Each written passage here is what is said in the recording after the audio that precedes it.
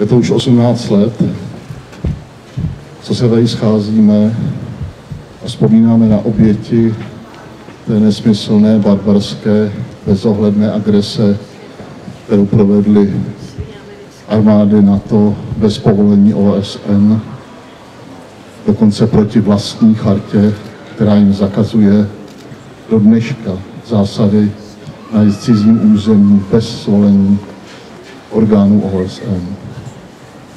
Předcházelo tomu velká mediální kampaň proti srbská, proti jugoslávská, krvavá válka v Chorvatsku, ještě krvavější v Bosně a nakonec povstání drogové narkomafie na Kosovu, které se zastalo právě letectvo Spojených států a dalších souputníků z NATO. Já bych rád předal slovo poslanci Českého parlamentu panu Jaroslavu Foldinovi. Děkuji za slovo. Já zdravím vás všechny v tento večer. Já si myslím, že to není nic příjemného, že se tady scházíme. Děláme to proto, že chceme vyjádřit nějaký svůj pocit. Já jsem tady vlastně stál před tou ambasádou 25. druhý den po zahájení té operace. Sešli se tady spontánně Češi, Srbové, spousta lidí tady plakalo a vlastně jsme nechápali, co se děje. Bylo jaro, jaro je vždycky takový, to přichází naděje. A pro mnoho lidí přišel velký smutek a rozčarování. Na jaře bylo zahájeno 24. března bombardování malého, malého státu uprostřed, téměř uprostřed Evropy, malého národa. Něco jako jsme my, Češi a Slováci. Stejného národa se stejnými pocity, s podobnou historií, s velmi podobnou řečí. Jednou bombardovali také jeden národ na jaře, ale ten národ byl ve válce, bylo to velké a tvrdé bombardování Drážďan, ale ti lidé věděli, co se to vlastně děje. Byla to válka, ale tady žádná válka nebyla. My jsme se sešli, byli jsme překvapeni a nechtěli jsme věřit tomu, co se stalo. Nechtěli jsme věřit, že nejsilnější armáda světa z ničeho nic zaútočí na desetimilionový národ, kde si v Evropě 50-60 let po druhé světové válce. Co tomu předcházelo, byly podivné rozhovory o míru mezi zástupci Jugoslávie, Srbů a kosovských Albánců. Podivné rozhovory, kdy delegace ani Albánců, ani Srbů nikdy neseděla za jediným stolem. Mezi nimi běhali jakýsi diplomaté ze Spojených států a domlouvali mír. Výsledkem byla válka. Vždycky je to složité, když se domlouvá mír a výsledkem je válka. Víte, jak říkal můj kolega, ve Washingtonské smlouvě v článku 4 je napsáno, že státy na to mohou zautočit mimo své združení jedině s mandátem OSN. Nic takového se nestalo. Došlo k porušení mezinárodního práva. Flagrantnímu porušení mezinárodního práva a vlastní, té vlastní smlouvy, Washingtonské smlouvy. To, co je smutné, že jsme se nedokázali proti tomu postavit. Že jsme byli přizváni k tomu stolu, aby jsme se stali spoluodpovědní, ale my jsme se nedokázali proti tomu postavit. Proti tomu, že někdo bombarduje stejný národ, jako jsme my, se stejnou historií, se stejnou řečí pomalu. A my jsme byli vtaženi do takovéto věci, kdy teroristé se začali nazývat demokratickou opozicí. Demokratickou opozicí, která vraždila a zabíjela a které se státní moc postavila na odpor. To se tak vždycky dělá. Víte, 32 tisíc tun, 32 tisíc bojových zletů těch nejmodernějších letadel na světě na ten desetimilionový národ. 10 tisíc okřídlených raket. 10 tisíc okřídlených raket. Tisíce tun, tisíce tun, 21 tisíc tun bomb, 15 tisíc tun ochuzeného uranu. Ten ochuzený uran ne, že zabíjel tenkrát, on zabíjí i dnes. Dva a půlkrát se zvedla úmrtí na rakovinu, na rakovinu v Srbsku. To je důsledek bombardování touto zakázanou, zakázaným prostředkem. Kazetové bomby, které 17. dubna zabili tehdy tříletou milici Rakeč. Dnes by bylo 21 let. A kde je milice Rakeč? Kdo se jim omluvil? První obětí celého toho konfliktu se stala pravda. Jako vždy se stane první obětí pravda. Když pravda je víc jak tanky. Pro ty lidi. A lež se stala nástrojem, který se stal předmětem demokracie. My jsme se na to dívali, oni přišli o životy, o majetek, o víru a my o naději. My jsme všichni v něco věřili a najednou jsme byli postaveni před situaci, kdy jsme přestali chápat a věřit. Jakýsi dramatik absurdních děl řekl, že to je humanitární bombardování. Je to něco, za co se dodneska musím stydět. Aby někdo umíral za to, že je humanitárně bombardován. Tam jsem se, proč je bombardujete? A oni říkali, to bombardujeme režim. Bombardujeme režim a umírala milice Rakič. A dva a půl tisíce dalších lidí. To jsou prostě věci, které jsou velmi absurdní a možná ty špatné hry se hrály v té dané době. My se tady proto stavíme, stavíme s každý rok, bychom zapálili svíčku a vzdali hold obětem té absurdní války. A chtěli jsme jim říct, my, my jsme stejní jako vy. Máme stejné hodnoty jako vy. Vidíme to stejně jako vy. Bohužel jsou kolem nás někteří politici, kteří tyto hodnoty neuctívají, nevidí to tak. A my uděláme všechno pro to, abychom jim připomněli, že udělali chybu, že se dopustili i zločiny. Víte, když jsem byl s Václavem na promoci knihy paní Albrightové, tak jsem byl překvapen tou upřímností, když vykřikla vy odporní Srbové. A trestní oznámení nám bylo řečeno, že nedošlo k naplnění skutkové podstaty trestného činu. Směšné, ale bohužel je to tak. Ta diplomatka nedokázala ani udržet svůj nenávist na úzdě. Jak to potom mohla dokázat, když ji ti Srbové v 40. letech zachránili před koncentrákem. A ona jim poslala těch 21 tisíc tun bomb na hlavu. Já jsem vždycky dojat, když jsem tady, protože se mě to dotýká, stejně jako mnohých z vás. Chtěl bych vám za to, že vždycky každý rok přijdete, abychom jim připomněli, že se dopustili zločinům. Chtěl bych vám za to poděkovat. Děkuji vám.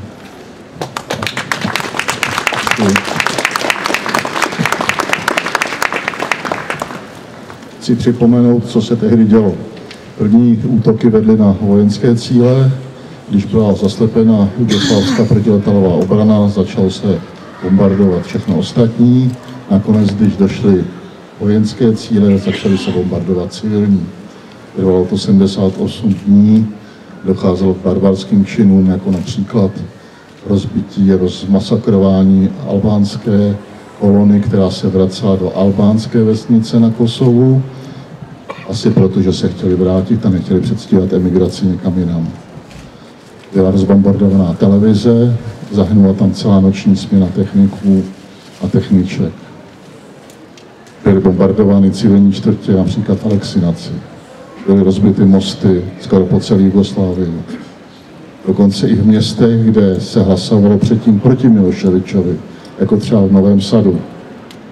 Ty vojenští plánovači byli nejen hloupí a zaslepení, ale taky cyničtí. Nakonec se ukázalo po podepsání Kumanovské dohody, kdy policie a armáda Jugoslávie se na čas stáhla z Kosova, že vlastně nebyla rozbita žádná vojenská technika jugoslávská, že ty nálety neměly vůbec žádný vojenský význam. Střílelo se vedle. A vedle toho byli ale civilisté, kterých zahynilo 2,5 tisíce. To mají na svědomí politici především, kteří rozbít Jugoslávii jako konkurenční podnik Evropské unie, která tehdy vznikala.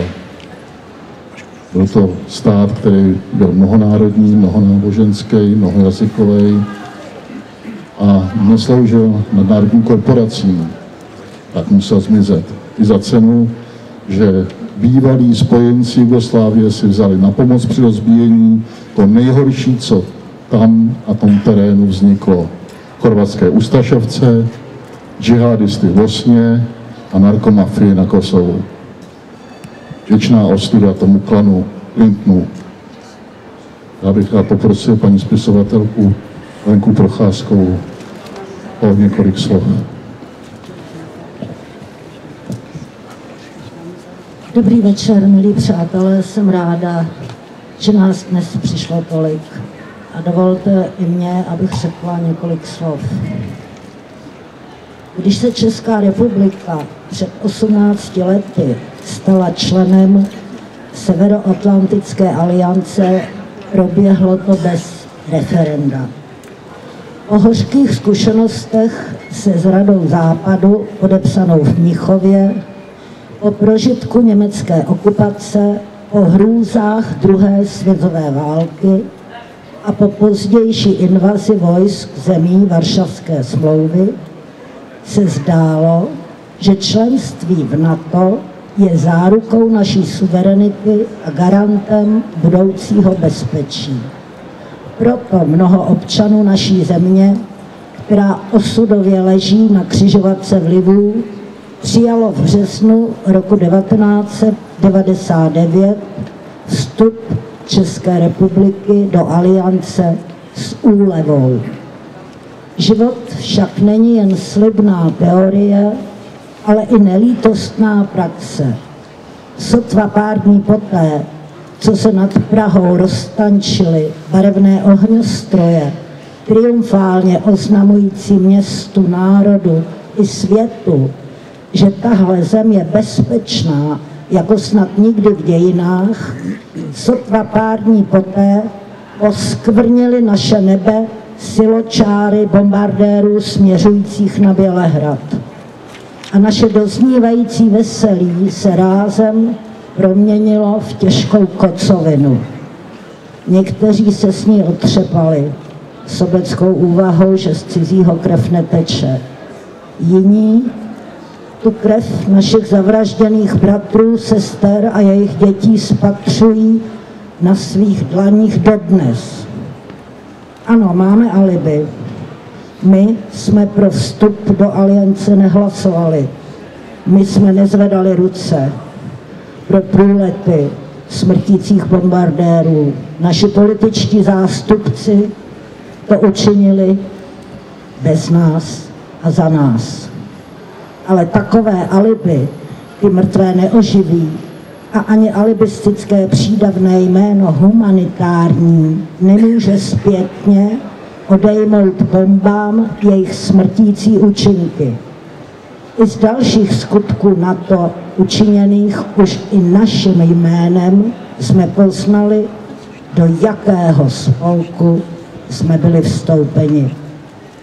Členství naší republiky v alianci už trvá 18 let. Pro českého občana je to věk, kdy nabývá plnoletosti a je právně odpovědný za své činy. Přestaňme proto používat termín naše stále ještě mladá demokracie. Jednejme už konečně jako dospělí a přinuťme naše zvolené politické zástupce, aby prosadili zákon o speciálním referendu, kterým občané sami rozhodnou o tom, zda se Česká republika bude i nadále podílet na akcích NATO a nestraně odpovědnost, anebo zda z aliance vystoupí. Naši dosavadní spoluvinu tím sice nesmažeme, ale můžeme se stát příkladem pro další členy paktu a tím vyvolat dominový efekt. Svět bez válek není iluze pro děti, ale cíl pro každou generaci dospělých. A dnes jsme na řadě my, abychom se k tomuto cíli aspoň o krok přiblížili. Děkuji za pozornost. Děkuji Lenče Procházkové. Byl jsem požádán, jestli můžeme dát pár slov místo předsedovi strany komunistů Čech a Moravy, panu Josefu Skálovi. Hezký večer přeju. Rád bych se připojil k moudrým slovům, která tu zazněla. Jsem tu za stále asi 40 tisíc členů komunistické strany Čech a Moravy. A připustme ji 15krát, 17krát víc těch, kdo naši stranu neváhají volit. A jsem si jist jednou věcí. V těchto statisících našich spoluobčanů nenajdete jednoho jediného, kdo by přitakal tomu vynálezu zkázy, který se odehrál útokem na někdejší Jugoslávii. Už tu byla řeč o tom, že se neváhal spojit s tou nejtemnější špínou reakcí. Že povolal do hry lidi zahleděné do nacistické minulosti, že se spolčil s těmi, kdo neváhají kšeftovat s lidskými orgány, operovanými z těl zajatců a se spoustou dalších různých špinavostí. A je tu i téma, které tu možná nezaznělo. Eh, Slobodan Miloševič zemřel ve vězení, aniž mu cokoliv bylo dokázáno. Dneska to samé hrozí Radovanu Karadžičovi a Radko Mladičovi. Eh, tlak na to, aby se jim dostalo léčení tam, kde ta šance je, si myslím, je třeba vystupňovat. Ale hlavní je to, co tu řekla paní Lenka před malou chvílí. My jsme byli vstrčeni do paktu, do kterého nikdo z nás, milionů Čechů, Moravanů a Slezanů, hlas proto nedal. A moc se stále bojí toho, aby nechala lidovým hlasováním rozhodnout, zda do tohoto paktu patříme, či ne. Naši poslanci prosazují speciální zákon o referendu, který by občanům umožnil hlasovat o tak závažné otázce. A dnes být spoluviníkem eh, válečnické politiky, kterou pak provádí, je škrtem přes všechno, co bylo krédem české a československé zahraniční politiky po celou dobu její samostatnosti, jak za předmíchovské republiky, tak po druhé světové válce. Tedy jen s výjimkou nacistického protektorátu. Je to hamba a tu hambu je třeba odčinit. A určitě tomu pomůže i dnešní schromáždění uctění památky těch, kdo si svoji smrt určitě nezasloužili. Vzpomeňte si na ony absurdní epizody, kdy generální ředitel Bělehradské televize byl obviněn za to, že nevěděl včas, že má vyklidit personál této televize. Vlastně on nese vinu za to, že zahynuli moderátorky, redaktorky a redaktoři a další personál této televize. Pod nálety z níž padala, padaly i bomby s, ochu, s ochuzeným uranem. To jsou věci, které budou zapsány o staletí černým písmem v dějinách. A my můžeme být hrdí na to, že proti ně protestujeme teď, kdy se dějí a ne, kdy budou jenom vzpomínkou. Pojďme si slíbit, že v tom neustaneme. Děkuji za pozornost.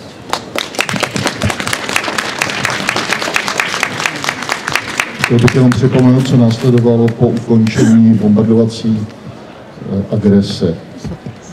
Kumanovu se domluvilo, že na nějaký čas srbské jugoslávské jednotky opustí Kosovo, že tam přijdou jednotky států NATO pod velením OSN, takzvaná mise KFOR, a že po nějaké době se jugoslávská, respektive srbská armáda a policie na Kosovo vrátí. To bylo ve smlouvě. Srbové tomu uvěřili, vyklidili Kosovo, nechali ho na pospas UČK, která tam hned zapálila 58 tisíc srbských nemovitostí. Byla to další etnická čistka, která proběhla na Balkánu a zase proti Srbům. Stejně jako v Chorvatsku. Stejně tak jako v Bosně. Nakonec to dopadlo tak, že státy, které podepsali tuto dohodu za NATO, ji dodrželi a uznali takzvané nezávislé Kosovo. Republikou, která je řízená předávky narkomafie, teroristy, která se sama neuživí, která je dneska černou dírou na evropské peníze. To všechno se stalo. Naši politici jsou v klidu.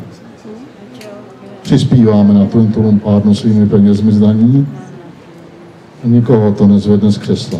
Parlament je v klidu. Vláda je v klidu. ať je levá nebo pravá. Je to hrozné zjištění, že česká politika je naprosto nesvéprávná dneska. Stáváme se i kolonií, jak hospodářsky, tak i vojensky. Dneska se budou po naší republice prohánět cizí vojáci, kteří provokují na východních hranicích, tam u Ruska. Chtějí nás stáhnout do války, obyvatelstvo je připravováno metodicky vymýváním mozku na další válku. Nemůže být v klidu. Já bych rád předal slovo paní Evě Novotné, mluvčí iniciativy Nezákladná. Děkuji.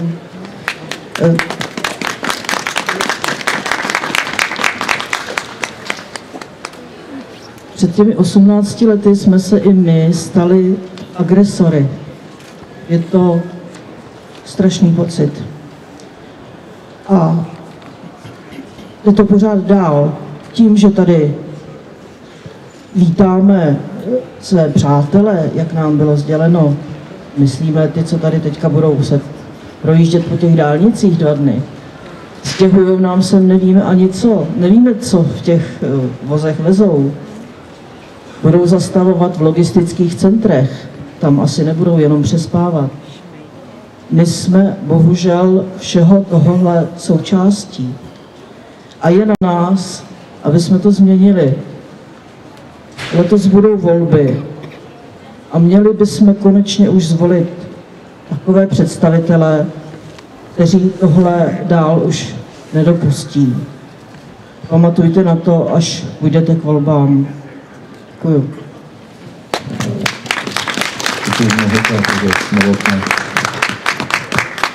Přátelé, teď bych předal tady to místo České pravoslavné církvi, otci Ivanovi Hadravovi.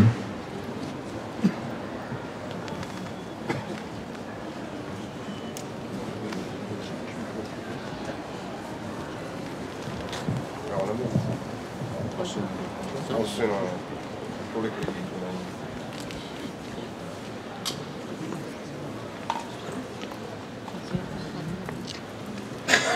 Blahoslaven Bůh náš, vždycky nyní příště a na věky věků. Amen. Aleluja, aleluja, aleluja, blahoslavení ty, již vyvolil a přijal Pán. Aleluja, aleluja, aleluja, památka jí bude přicházet z pokolení na pokolení. Aleluja, aleluja, aleluja, duše jich mezi blahé se dostanou. Aleluja, aleluja, aleluja. Jenž hlubokosti své moudrosti lidmi vše říkíš a co je prospěšné, čem podáváš. Jediný tvůrce dej odpočinutí, hospodine, duši se svým služebníkem svým, neboť naději na tebe složili, tvůrce a budovatela Boha našeho. Tobě tvrsa utočiště máme a líbe znovu rodovnice Boha, jehož si porodila, Bohorodice Panu ke spasení věrných. Blahosloven si, hospodine, naučiš mě spravedlnostem svým. Blahosloven si, hospodine, naučiš mě spravedlnostem svým. Skromáždění svatých nalezlo pramen života a bránu rajskou. Nech naleznu já cestu pokání. Strač se nájď jsem ovečka, povolej mne spasiteli a spasíš mne. Odpočinou ti dej, Bože, služebníkům svým a do ráje je uveď kde chóry svatýho, pane, a spravedlivý tvoji září jako světla, odpočinou ti služebníkům svým dej, ke všem jejich hříchům skrývaje.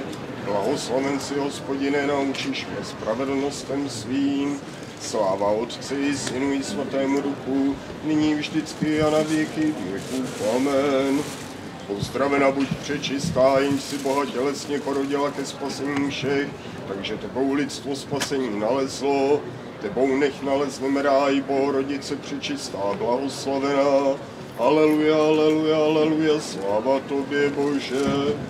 Dej spočinou se spravedlivými spasiteli náš služebníkům svým, dej jim přebývat v příbicích tvých, jako psáno je, dobrotivosti své popřávej prominutí, pokleskům jejich úmyslným i neúmyslným.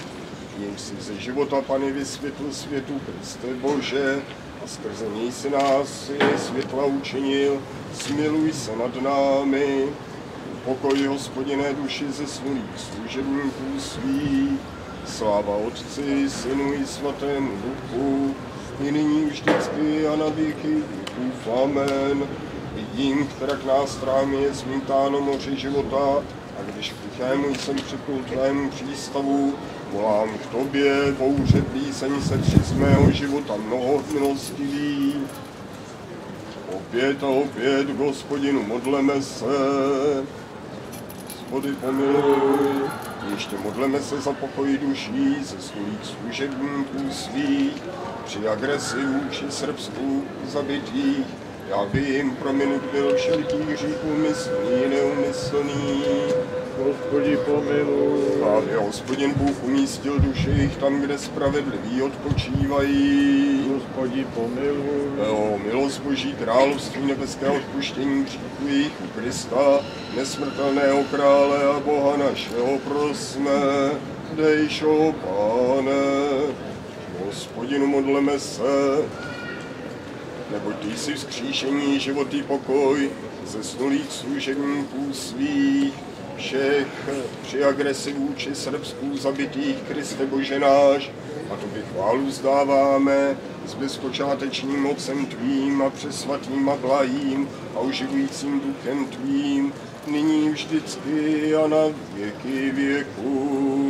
Amen. Se svatými upokojí Kristé duši služebníků svých, tam, kde není bolesti ani stezku, ani vzdechu, ale život je nekonečný. Nad hrobem plačíce pijeme, aleluja, aleluja, aleluja.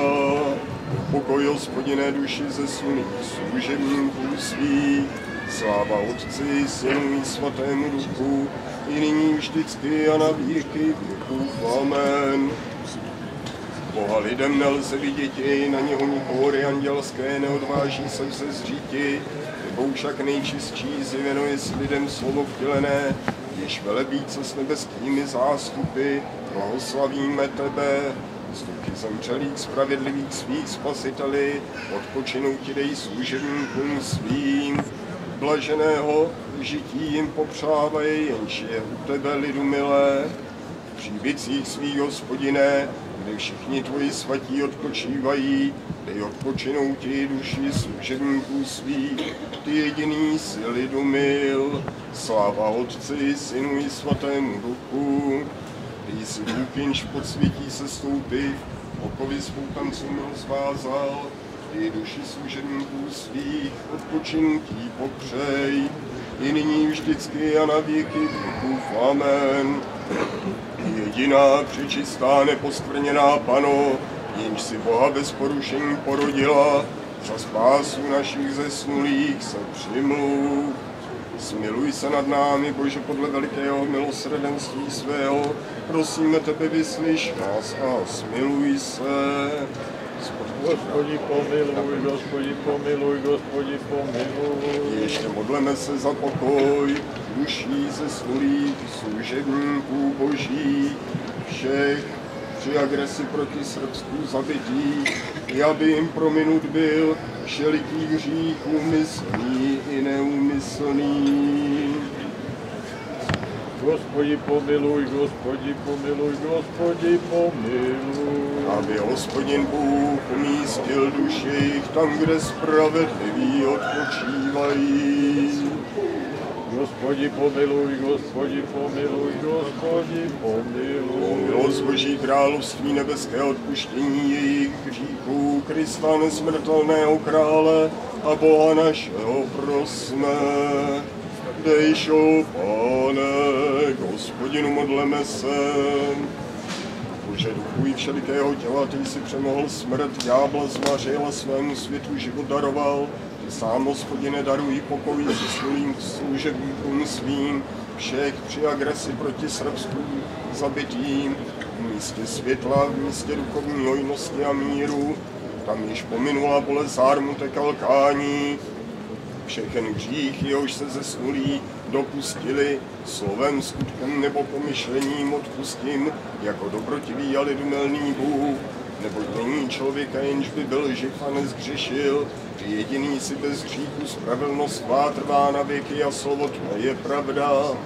Neboť ty jsi vzkříšení, život i pokoj ze služebníků svých, při agresi proti Srbsku zabitých Kriste Bože náš, a to by chválu vstáváme s bezpočátečným mocem tvým a přesvatým a blahým a užujícím duchem tvým, nyní vždycky a na věky věků. Amen. moudrost, tebe nad chrubíny stěnější a nad serafíny bez přirovnání slavnější, bez porušení Boha slovo porodivší, pravou Bohu rodičku velebíme. Sláva tobě, Kriste Bože, naděje naši, sláva tobě, sláva Otci, Synu i Svatému Duchu, nyní vždycky a na věky věků. Amen. Hospody pomiluj, hospody pomiluj, hospody pomiluj. Starší z mrtvých Kristus pravý Bůh náš na přímluvy přečisté matky své, Bohu milných a bohonosných otců našich i všech svatých, duše zesnulých služebníků svých, při agresi proti Srbsku zabitých, kteří nás opustili v sídla spravedlivých svých uvede, spravedlivým připočte a nad námi se smiluje jako tlají a lidu mil. Ve blahém zesnutí pokoj věčný uděl hospodine, zesnulým služebníkům svým, všem při agresi proti Srbsku zabitým a učiň památku jejich věčnou. Věčná paměť, věčná paměť, věčná já jim paměť.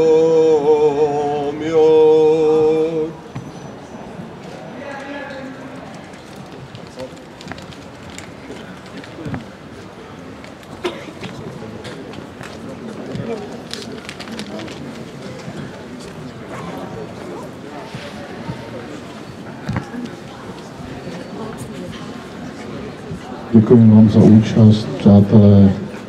Mějte se hezky před příjemným víkem. Naschledanou. Asi po 20-30 je to určitě.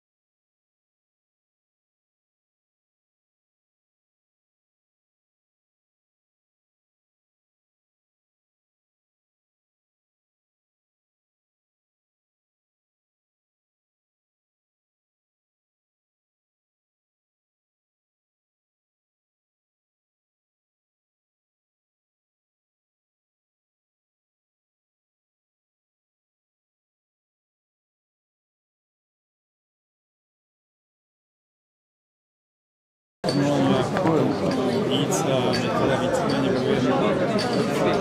s dnešním systémem parlamentní, to se žere hodně času.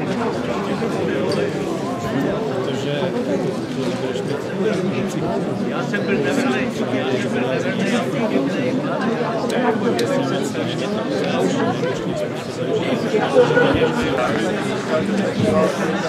Proto